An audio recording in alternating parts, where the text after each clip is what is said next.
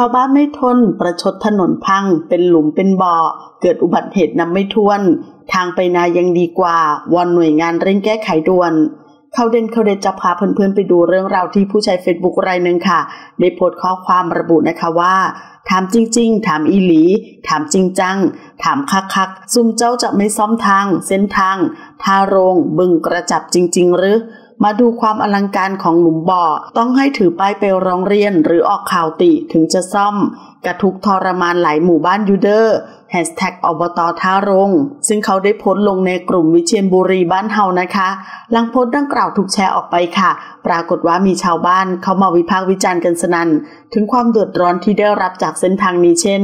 ออกข่าวเลยครับ ไอ้พวกนี้จะไวมาก ถ้าทำได้ออกข่าว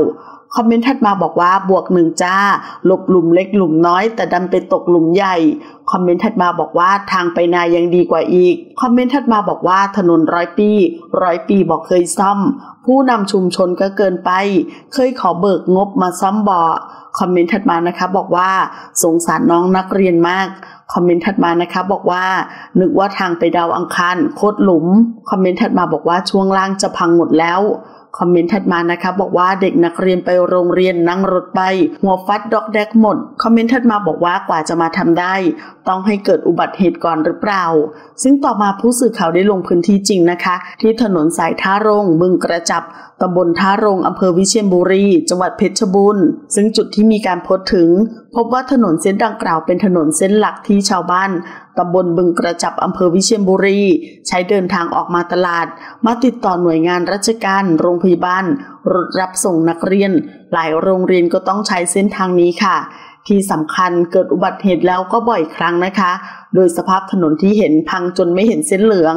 อีกทั้งยังเป็นหลุมเป็นบ่อลึกจำนวนมาก จนนับไม่ถ้วนเลยทีเดียวค่ะ ซึ่งรวมระยะทางประมาณ 5 กิโลเมตรนะคะ ขณะที่ชาวบ้านกลุ่มหนึ่งก็ได้ออกมาร้องเรียนให้หน่วยงานที่รับผิดชอบ ออกมาแก้ไขปัญหาดังกล่าวให้กับชาวบ้านโดยเร็วค่ะ ชาวบ้านรายหนึ่งเล่านะคะว่าทางเส้นนี้ ลูกชายของเขาขับรถมอเตอร์ไซค์ล้มมาแล้วสองครั้ง เพราะหลบหลุม แต่ก็ไปเจออีกหลุม และกลัวว่าหมู่บ้านจะเป็นเมืองลับแลไม่มีใครอยากเดินทางเข้ามา เพราะถนนที่พังแล้วพังอีก เสี่ยงต่อการเกิดอุบัติเหตุค่ะ ไม่มีความปลอดภัย แต่ชาวบ้านบึงกระจับก็ต้องทนใช้เส้นทางนี้ เพื่อออกมาโรงพยาบาล เด็กๆก็ต้องใช้เส้นทางนี้ไปโรงเรียนในตัวอำเภอวิเชียรบุรี ซึ่งด้านคุณยายอัมพรอายุ 64 ปี ได้บอกนะคะว่า วันนี้ตนได้นำต้นข้าวต้นมันและหญ้ามาปลูก เพราะเห็นว่าถนนมีบ่อน้ำเยอะดี ปลูกอะไรก็น่าจะงาม ได้ผลผลิตดี ไม่แตกต่างอะไรกับดินทุ่งนาทั่วไป ถ้าเป็นถนนจะต้องดีกว่านี้ ขณะที่นางสาวชัชดาพรอายุ 40 ปีชาวบ้าน ได้เล่านะคะว่า พวกตนเดือดร้อนมาก เพราะถนนเส้นนี้เป็นถนนเส้นหลักที่ชาวบ้านกว่า 10 หมู่บ้าน ที่ต้องออกไปติดต่อหน่วยงานราชการ เราต้องผ่านเส้นนี้ทั้งหมด ชาวบ้านเดือดร้อนมาไม่รู้กี่ปีต่อกี่ปี เกิดมาก็เห็นว่าเป็นแบบนี้แล้ว ที่ผ่านมาหน่วยงานเคยมาซ่อมแค่แป๊บเดียวก็พัง นักเรียนคนแก่คนชรา เกิดอุบัติเหตุบ่อย จึงอยากวอนขอร้อง มีงบเศษตรงไหน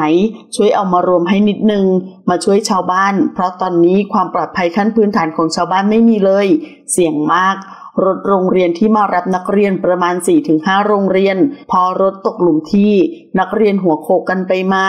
เป็นไปได้ชาวบ้านอยากให้แก้ไขถนนแบบมาตรฐานถาวรชาวบ้านเองไม่อยากออกมาร้องเรียนกันบ่อยๆ เพราะเป็นสิ่งไม่ดีพอชาวบ้านถามไปไม่มีหน่วยงานไหนออกมารับผิดชอบ บอกว่าไม่มีงบบ้าง ซึ่งตนก็อยากให้หน่วยงานที่สูงกว่าใหญ่กว่าออกมารับผิดชอบและช่วยเหลือชาวบ้าน เพราะชาวบ้านเดือดร้อนมากจริง ๆ ค่ะ ขอขอบคุณข้อมูลจากข่าวสดขอบคุณค่ะ